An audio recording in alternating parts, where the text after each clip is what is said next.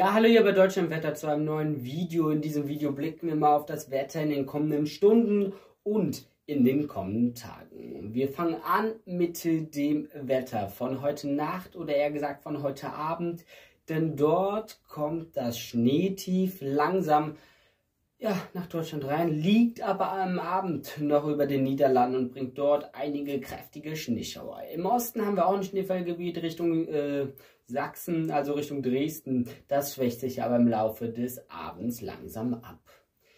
Dann bewegt sich dieses Schneetief oder dieses Polartief langsam südwärts oder eher gesagt südostwärts und dann später ostwärts und bringt kräftige Schneeschauer am oberen Rand von NRW, in Niedersachsen, Teile Bremens, aber auch Schleswig-Holstein wird betroffen sein. Dort könnten dann die Straßen auch glatt werden.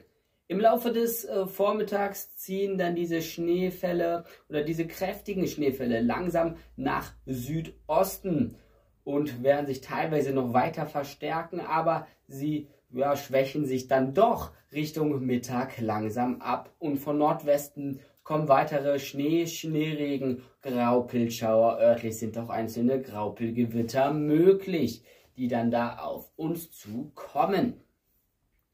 Dann blicken wir auf den Freitag, oder eher gesagt, wir springen auf den Freitag.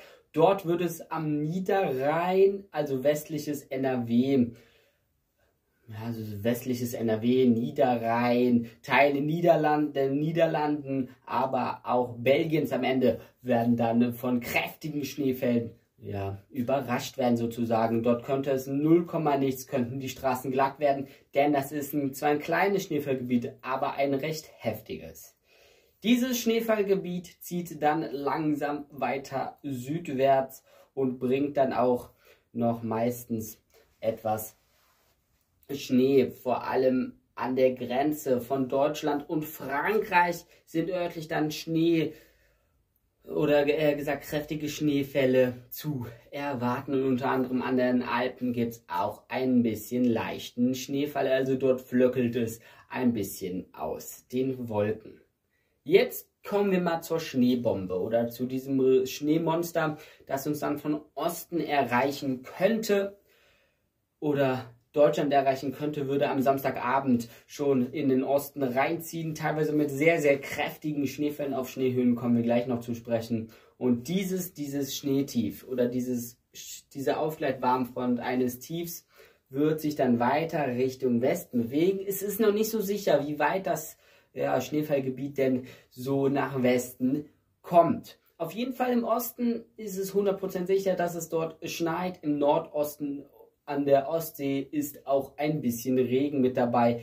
Also so ein Wechselspiel aus Regen und Schnee. Jetzt kommen wir auf die Schneehöhen zu sprechen. Schauen wir auf das EZMWF-Modell. Das sieht im Westen teilweise 8 cm am Niederrhein. Aber wir schauen uns mal in den Osten, nach Sachsen. Dort sind örtlich 25 bis 30 cm möglich, aber auch in Berlin 5 bis 10 cm. Und generell in einem Streifen von Sachsen nach Baden-Württemberg werden wir meist 5 bis 30 cm an Schnee bekommen und man sieht hier auch gut die Mittelgebirge.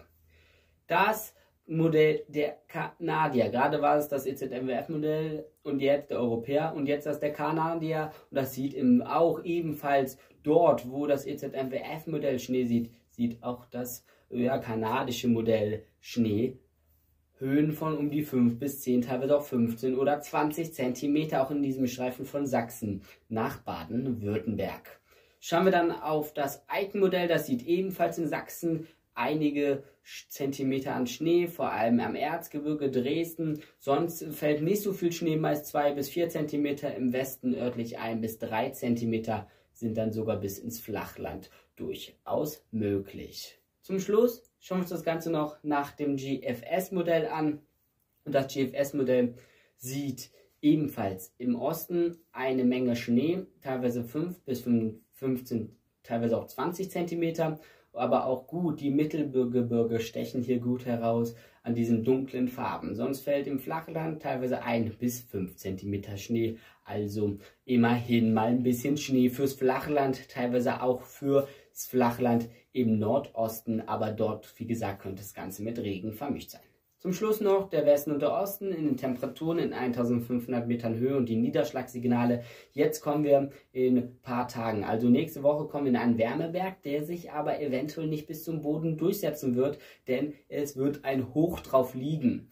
Und dann, wenn man weiter zum Vorhersagezeitraumsende geht, sieht man weiter Ausreißer nach unten, aber auch Ausreißer nach oben und dabei haben wir immer wieder ein paar Niederschlagsignale. Hier jetzt für den Westen steht auch oben drüber. Das Ganze schauen wir uns auch für den Osten an. Auch hier geht es dann hoch auf den Wärmeberg, Wärmeberg sozusagen. Und dann zum Ende des Vorhersagezeitraums sind auch hier die Ausreißer nach oben und nach unten sichtbar. Und die Niederschlagsignale kann man hier auch gut erkennen. Und man sieht auch den grünen Hauptlauf wieder nach oben geht und dann zum Ende des Vorhersagezeitraums komplett abstürzt. Also bei dieser Wetterlage ist alles alles möglich. Und dann sehen wir uns dann wieder morgen oder übermorgen in einem Video. Ich würde mich freuen, wenn ihr an dieser Stelle ein Like und ein Abo da lasst. Und wir sehen uns dann im nächsten Video. Macht's gut. Bis dann und ciao.